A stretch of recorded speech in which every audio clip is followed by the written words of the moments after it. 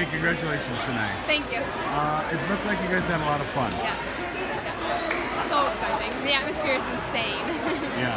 Playing here at home against your rivals yes. and coming out in what was a very impressive performance. Yes. You think about how that's going to help you as you guys get ready for the end of the season? Uh, yes. I think uh, the competition has been really well, and I think if we continue to play like we have, we'll do very well in tournament play, and that's important for us. That's one of our goals.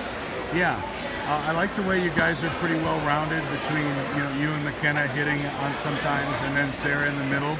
What do you think about this team, like and and, uh, and how you played this year? Um, I think our chemistry is ten times different than it was last year. The way the group of girls have worked together and just totally been themselves, and we've worked so hard together to get where we are.